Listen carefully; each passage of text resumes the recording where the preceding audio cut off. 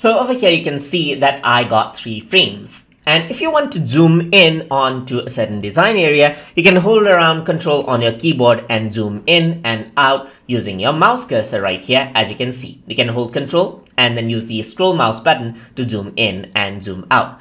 Then what you can do is you can go around into the file menu and then you can go around over here on to view right here. And here you can see that there's different options as you can see. So you can go around right here, zoom into next frame and it's zoomed into frame one. You can go around over here on to view, click on uh, find next frame, it goes to next frame right here, frame 2. Similarly, you can go around over here onto view, go to next frame, it goes to next frame. So over here in view, you can see that there's different options. You can zoom to next frame, zoom to previous frame right here. So if I were to go out right here, go around into uh, view, and find previous frame, it does not zoom in. But if I were to go around over here onto view and click on zoom to previous frame, then this is what you have as you can see.